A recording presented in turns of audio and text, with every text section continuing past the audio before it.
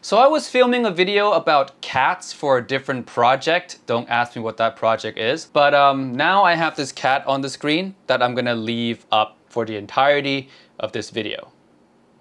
Now let's talk about FX15. Hey friends, Timmy here, welcome back to MVO and Gizaudio. Today we have a review of the FX15 by FiiO. $800 flagship IEM with EST drivers. I think four of them if I remember correctly. That's what makes this thing expensive because EST drivers are not cheap at all. So how does this fare in the market? Should you buy it? All of those questions will be answered in today's video, but let's start off with talking about the tuning first. So the tuning of the FX15 is a very um, strange one. It's a V-shaped signature through and through, but it has the recess point or the mid-range recess in a different place than you would expect. Normally, a mid recess is in the lower mid range, but in the FX15, it's in the upper mid range. Now, what this does is it makes vocals feel very far away, especially female vocals. For male vocals, it depends. If their voice is deeper, maybe you don't feel the effect as much,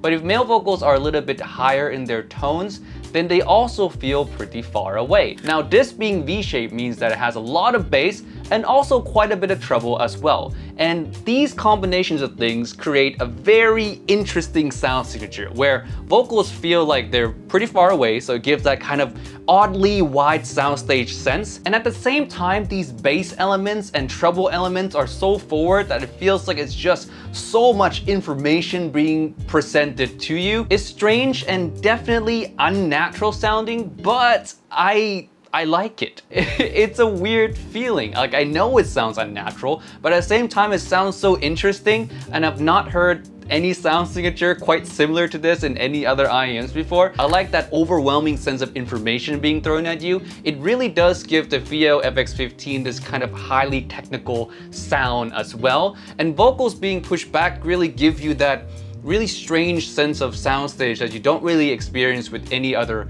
IEM. So I like it, at the same time, I don't like it.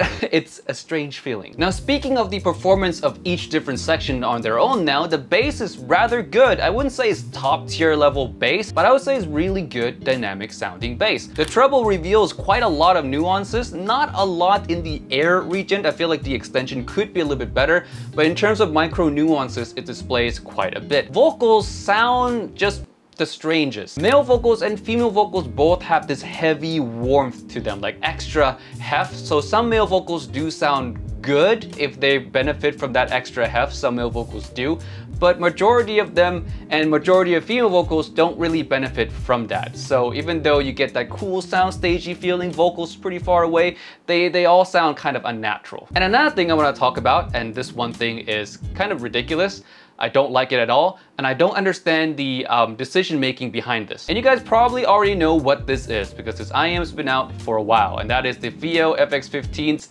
switch.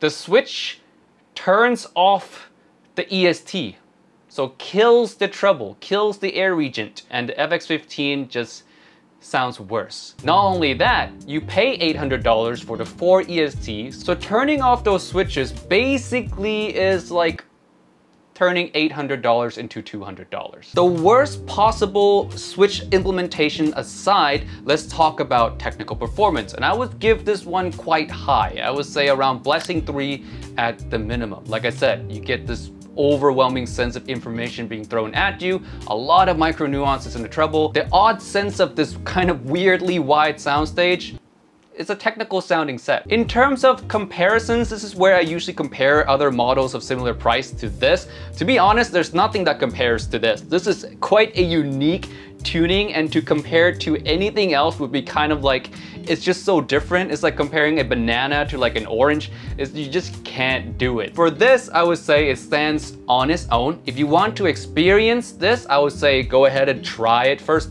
demo it first, please do not blind buy this.